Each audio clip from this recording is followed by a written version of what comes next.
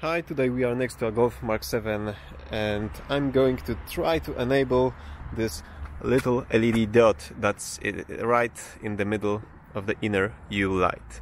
The outer U is illuminated, the inner U is available only in uh, Golf R, I believe, and the little dot that's inside should be should be on if I uh, remember correctly.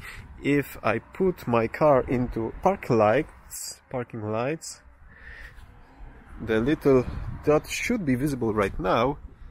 Oh, there it is but I want to code it so it's available when I'm using my daytime running lights. So I'm I have my OBDeleven connected to the car already and I have my phone over here I have my phone over here with the OBDeleven turned on so let's try to code it in okay so let's go to module number 09 this is Central Electrics.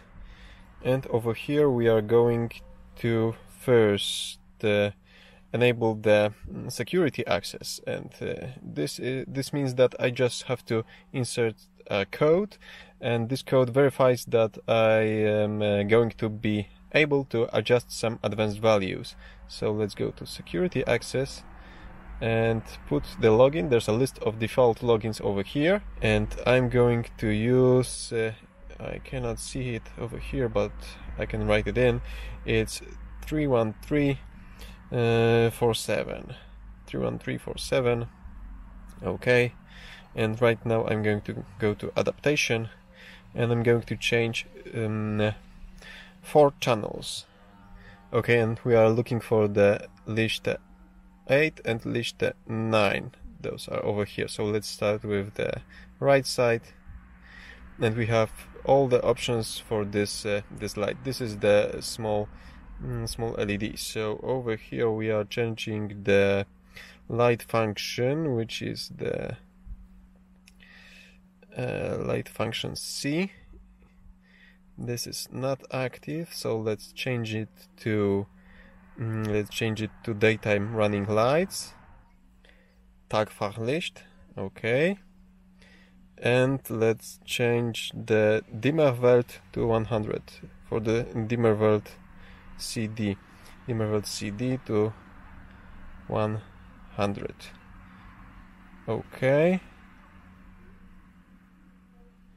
Accepted. And that was the list 9 so now let's go to list A8 this is it. Function C tag list. Tag var list. Okay, uh, and Dimmerwert CD 100, okay, press and hold, saving, coding accepted, and if I'm correct, this should be it, you can disconnect from car, and let's check if it worked. Okay, I've waited few hours to show it to you by night because it's better visible uh, like this. So let's check. Let's check how those daytime running lights look right now. Oh, it's very bright. You can see that both the outer U and the inner dot are on. Same the same on the other side. The outer U is on and the inner dot is on.